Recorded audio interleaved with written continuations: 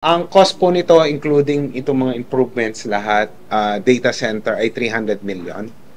Uh, ito po ay pinondohan ni Senator Bongo sa initiative niya.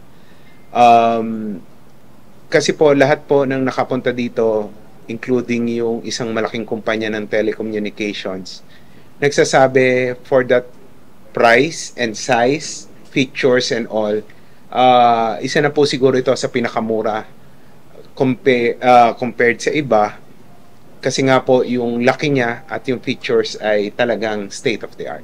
Yung pong ating uh, old command center will be retained as a redundancy. Uh, may mga kausap na po kami na isi-share po namin siya tulad ng OCD, uh, NCR. Yun din pong ating NTF LCAC, yung Joint Task Force po para doon ay uh, maglalagay po ng tao doon to monitor the situations in Metro Manila.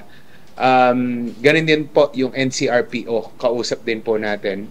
Uh, maglalagay din po sila ng tao doon to monitor din po yung ating mga CCTVs. Yun naman pong integration, plan integration, uh, minap out na po namin, kulang na lamang po kami ng around 405 kilometers, I mean 45 kilometers ng fiber optic cable para po ma-ikabit na yung mga LGUs, lahat ng LGUs sa NCR, dito po sa ating command center.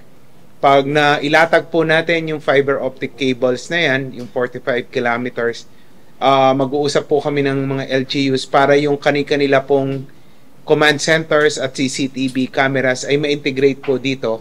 Makuha rin po natin yung data nila, uh, mga footages, para po integrated na dito sa atin para po mas efficient yung monitoring natin, traffic, baha, at yung iba pa pong mga kaganapan dito sa Metro Manila.